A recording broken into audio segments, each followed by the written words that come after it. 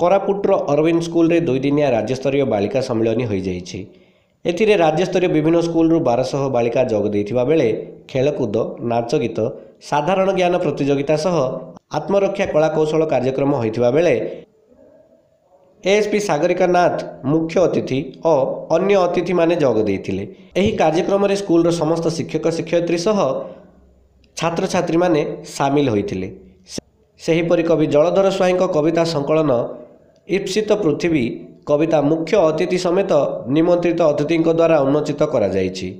ଏଥିରେ ଏକାବନଟି କବିତା ରଚିତ ହୋଇଥିବା ବେଳେ ଏହାଦ୍ୱାରା ସମଗ୍ର ପୃଥିବୀର କଥା କୁହାଯାଇଛି।